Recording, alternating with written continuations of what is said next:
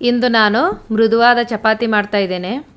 Protein ಯುಕ್ತ ಗೋಧಿ ಹಿಟ್ಟಿನಿಂದ ತಯಾರಿಸುವ ಚಪಾತಿಗಳು ಬಲು ಆರೋಗ್ಯಕರ ಹಾಗೆ ರುಚಿಕರ ಕೂಡ. ಉತ್ತರ ಕರ್ನಾಟಕದಲ್ಲಿ ಊಟಕ್ಕೆ ಜೋಳದ ರೊಟ್ಟಿ. ಜೋಳದ ರೊಟ್ಟಿ ಇಲ್ಲಾಂದರೆ ಚಪಾತಿ ಮಾಡಲೇಬೇಕು. ಆದರೆ ದಕ್ಷಿಣ ಕರ್ನಾಟಕದಲ್ಲಿ ಬೆಳಗಿನ ಉಪಹಾರಕ್ಕೆ ಈ ಚಪಾತಿನ ತಯಾರಿಸ್ಕೋತಾರೆ. ಆದರೆ ಎಲ್ರಿಗೂ ಮೃದುವಾದ ಚಪಾತಿ ಮಾಡಲು ಬರುವುದಿಲ್ಲ. ನಾನು ಹೇಳಿದ ರೀತಿ ಚಪಾತಿ ಮಾಡಿದರೆ ಬಾಯಲ್ಲಿಟ್ಟಂತೆಯೇ ಕರಗುವಷ್ಟು ಮೃದುವಾದ ಚಪಾತಿ ಹಾಗೂ ರುಚಿಕರ ಚಪಾತಿ ಮಾಡ್ಕೋಬಹುದು.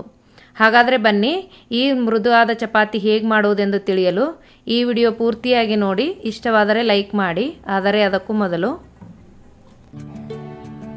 ನಮಸ್ಕಾರ. ಪಾಕಶಾಸ್ತ್ರ ಚಾನಲ್ಗೆ ಸ್ವಾಗತ.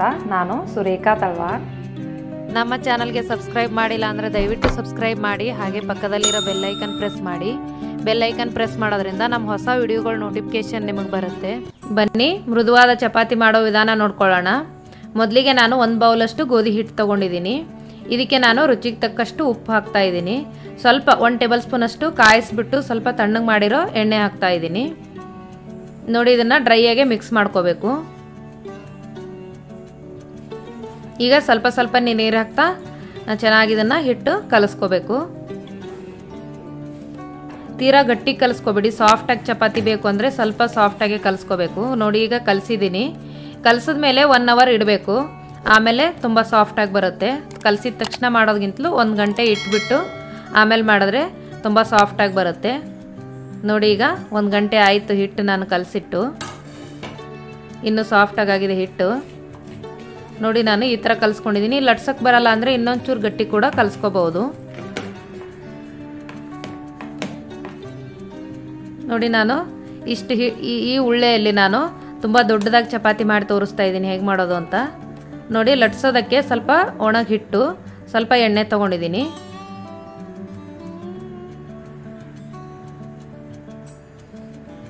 ನೋಡಿ ಈ ಥರ ಸರ್ಕಲಾಗಿ ಮೊದಲು ಲಟ್ಸ್ಕೋಬೇಕು. ಲಟ್ಸ್ಕೊಂಡು ಸ್ವಲ್ಪ ಎಣ್ಣೆ ಮತ್ತು ಹಿಟ್ಟು ಕೂಡ ಹಚ್ಕೋಬೇಕು. ಈ ಹಿಟ್ಟು ಎಣ್ಣೆ ಎರಡೂ ಹಚ್ಚೋದ್ರಿಂದ ಬೇಯಿಸುವಾಗ ಲೇಯರ್ ಲೇಯರಾಗಿ ಬಿಟ್ಕೊಳ್ಳುತ್ತೆ. ಎಣ್ಣೆ ಜಾಸ್ತಿ ಅನಿಸಿದ್ರೆ ಸ್ವಲ್ಪ ಕಡಿಮೆ ಕೂಡ ಹಚ್ಕೋಬೋದು. ನಾನು ಸಾಫ್ಟಾಗಿ ಬರಲಿ ಅನ್ನೋ ಕಾರಣಕ್ಕೆ ಎಣ್ಣೆ ಹಚ್ಚಿ ಮಾಡ್ತಾ ಇದ್ದೀನಿ, ಜಾಸ್ತಿ ಎಣ್ಣೆ ಹಚ್ಚಿ. ನೋಡಿ, ಈ ಥರ ಇನ್ನೊಂದು ಲೇಯರ್ ಕೂಡ ಈ ಥರ ಹಿಟ್ಟು, ಎಣ್ಣೆ ಎರಡೂ ಹಚ್ಚಿಬಿಟ್ಟು ಈ ಥರ ಲಟ್ಸ್ಕೋಬೇಕು.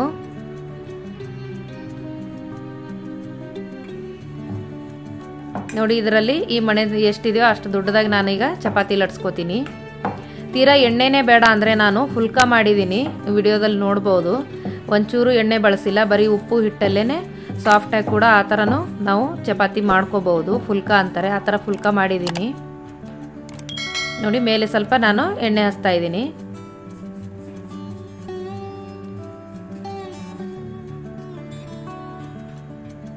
ನೋಡಿ, ಒಂಥರ ಆಯಿತು.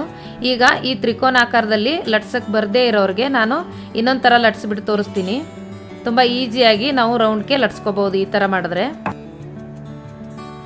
ನೋಡಿ, ಈ ಥರ ಓವೆಲ್ ಸೇಪಲ್ಲಿ ನಾವು ಲಟ್ಸ್ಕೊಂಡು ಸ್ವಲ್ಪ ಎಣ್ಣೆ ಹಚ್ಚಿ ಇದಕ್ಕೂ ಕೂಡ ಈ ಥರ ಸ್ವಲ್ಪ ಹಿಟ್ಟು ಹಾಕಬೇಕು. ನೋಡಿ, ಈ ಥರ ಮಿಡ್ಲಲ್ಲಿ ಸ್ವಲ್ಪ ಪ್ರೆಸ್ ಮಾಡಿ ಈ ಥರ ಕ್ಲೋಸ್ ಮಾಡಿಕೊಂಡು ನೋಡಿ, ಈಗ ರೌಂಡ್ ಆಯಿತು. ಲಟ್ಸೋದಕ್ಕೂ ತುಂಬ ಈಸಿಯಾಗಿ ಬರುತ್ತೆ. ಇದು ಎರಡು ಲೇಯರ್ ಆಗುತ್ತೆ ಬೇಯಿಸಿದ ಮೇಲೆ ಇದು ಕೂಡ ಸಾಫ್ಟಾಗಿ ಬರುತ್ತೆ. ನಾನು ಮೂರನೇದಾಗಿ ಇನ್ನೊಂದು ಥರ ನಾನು ಮಾಡಿ ತೋರಿಸ್ತೀನಿ. ಈ ಥರ ಡಿಸೈನ್ ಮಾಡಿ ಮಕ್ಕಳಿಗೆ ಚಪಾತಿ ಮಾಡಿಕೊಟ್ರೆ ಮಕ್ಕಳು ಕೂಡ ಇಷ್ಟಪಡ್ತಾರೆ. ಮಹಾರಾಷ್ಟ್ರದ ಕಡೆ ಈ ಥರ ಬುತ್ತಿ ಏನಾದರೂ ಕೊಟ್ಟು ಕೊಳಿಸೋದಾದರೆ ಇದೇ ಥರನೇ ಲಟ್ಟಿಸ್ಬಿಟ್ಟು ಕೊಡ್ತಾರೆ. ಯಾವ ಥರ ಅಂತ ನಾನೀಗ ಮಾಡಿ ತೋರಿಸ್ತೀನಿ. ಇದು ಸೇಮ್ ಪ್ರೊಸೀಜರು. ಸ್ವಲ್ಪ ಎಣ್ಣೆ ಹಚ್ಚಿ ಸ್ವಲ್ಪ ಹಿಟ್ಟು ಹಾಕ್ಬಿಟ್ಟು ನಾವಿದನ್ನು ಮತ್ತೆ ಎಣ್ಣೆ ಹಚ್ಚಿ ಮತ್ತೆ ಮೇಲೆ ಸ್ವಲ್ಪ ಹಿಟ್ಟು ಹಾಕಿ ಇದಕ್ಕೆ ಲಟ್ಸ್ಕೋಬೇಕು.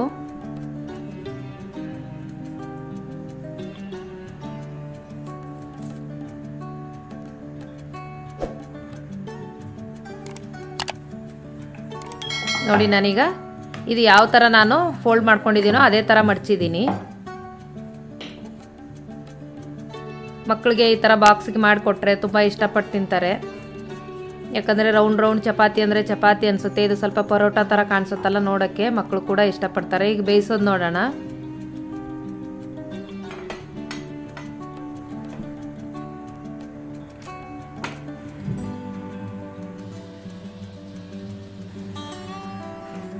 ನೋಡಿ, ಎರಡು ಸೈಡು.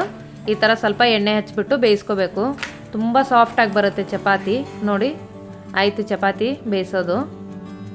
ನೋಡಿ, ನಾನೀಗ ಕೈಯಲ್ಲಿ ಮಡ್ಚಿಬಿಟ್ಟು ತೋರಿಸ್ತಾ ಇದ್ದೀನಿ. ಈ ಥರ ಪ್ರೆಸ್ ಮಾಡಿ ಓಪನ್ ಮಾಡಿದ್ರೆ ನಾಲ್ಕು ಲೇಯರು ನಾವು ಎಷ್ಟು ಮಡ್ ಮಡ್ಚಿರ್ತೀವೋ ಅಷ್ಟು ಲೇಯರಾಗಿ ಓಪನ್ ಆಗುತ್ತೆ. ಈಗ ಇನ್ನೊಂದು ಚಪಾತಿನ ನಾನೀಗ ಬೇಯಿಸ್ಬಿಟ್ಟು ತೋರಿಸ್ತಿದ್ದೀನಿ.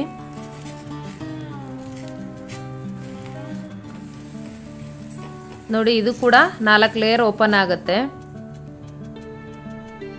ನೋಡಿ ಸಾಫ್ಟ್ ಆಗಿರೋ ಚಪಾತಿ ನೀವು ಕೂಡ ನಿಮ್ಮ ಮನೇಲಿ ಟ್ರೈ ಮಾಡಿ ನೋಡಿ. ತುಂಬ ಈಸಿಯಾಗಿ ಮಾಡ್ಕೋಬಹುದು ಬರದೇ ಇರೋರು ಕೂಡ ಈ ಥರ ಚಪಾತಿ ಮಾಡಲು ಬೇಕಾಗುವ ಸಾಮಗ್ರಿಗಳು, ಗೋಧಿ ಹಿಟ್ಟು ಒಂದು ಬೌಲು, ಸ್ವಲ್ಪ ಎಣ್ಣೆ, ರುಚಿಗೆ ತಕ್ಕಷ್ಟು ಉಪ್ಪು. ಈ ವಿಡಿಯೋ ನಿಮಗೆ ಇಷ್ಟವಾದರೆ ಲೈಕ್ ಮಾಡಿ, ಶೇರ್ ಮಾಡಿ, ಸಬ್ಸ್ಕ್ರೈಬ್ ಮಾಡಿ, ಹಾಗೆ ಪಕ್ಕದಲ್ಲಿರೋ ಬೆಲ್ ಐಕನ್ ಪ್ರೆಸ್ ಮಾಡಿ. ಧನ್ಯವಾದಗಳು.